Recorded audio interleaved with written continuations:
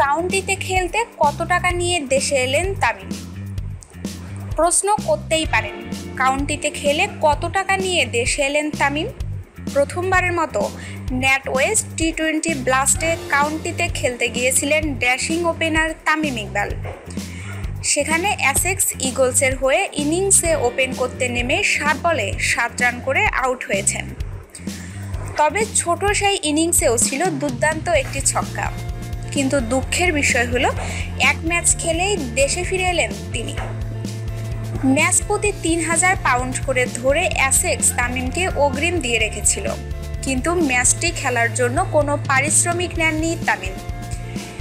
দেশে ফেরার আগে তামিম সব টাকাই ফিরিয়ে দিয়েছেন অ্যাসেক্সকে।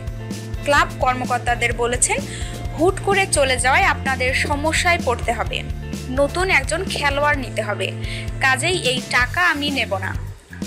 ইংল্যান্ডে অবস্থানের সময় তামিমকে স্টার্ট ফোর্টে একটি ফ্ল্যাট ভাড়া করে দিয়েছিল অ্যাসেক্স। ব্যবহারের জন্য দিয়েছিল একটি গাড়ি। এছাড়া যাওয়া আসায় তামিমের বিমান ভাড়াও অ্যাসেক্সই দিয়েছে। তবে স্ত্রী আয়েশা ও সন্তানের ভাড়া তামিম নিজেই বহন করেছেন। ব্যক্তিগত কারণে তামিম এক ম্যাচ খেলেই দেশে ফেরেন। ক্লাব পক্ষ থেকে ও তামিমের কাছ থেকে এই কারণটাই জানা গেছে। তবে বিভিন্ন সূত্রের বরাতে জানা গেছে, পরিবারের উপর দুষ্কৃতিকারীদের হামলার চেষ্টার কারণে তামিম দেশে ফেরেন।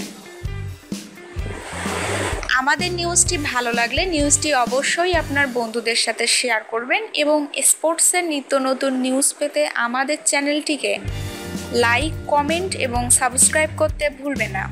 ধন্যবাদ সবাইকে।